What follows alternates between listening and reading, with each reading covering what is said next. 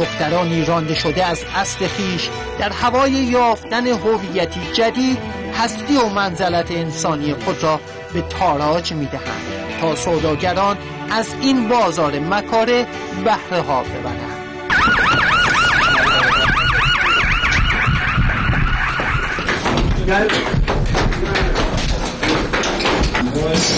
شیشه لوازم مصرف کوکائین.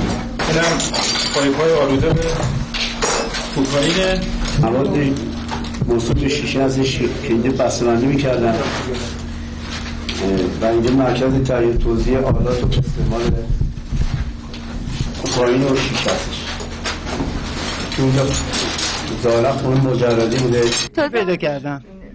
نمی‌دونم نمی‌دونم می‌گفتن نمی‌دونم شیشه فقط من شنیدم نمی‌دونم. همه چی و همه چی از تلویزیون همیشه می‌دیدم گوه خوردم جایی که نمی‌دونستم رفتم. اون آقا گفتن که هشیش تو اون کیفه بوده. من نمی‌دونم به خدا. دیگه چی غیر از هشیش؟ این خانمم که الان گفتن شیشه هم بوده.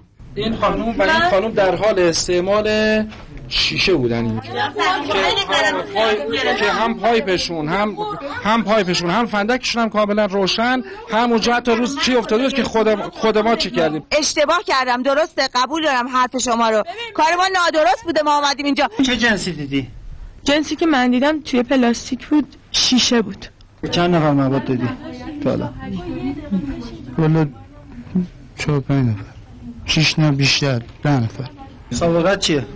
سابقه سابقه چیزی همین مواد مقدم مثلا تریاک بود با مشروب همین. جایی که نمی‌دونم به قرآن اینجا چجوری دیدید خودتون چجوریه؟ جایی که جای زندگی نیست جایی نیستش که نمی‌دونم. چی تو کلمه نمی‌تونم بگم چیه.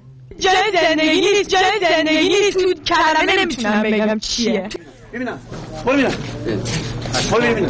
آه بچه درسته آره ببین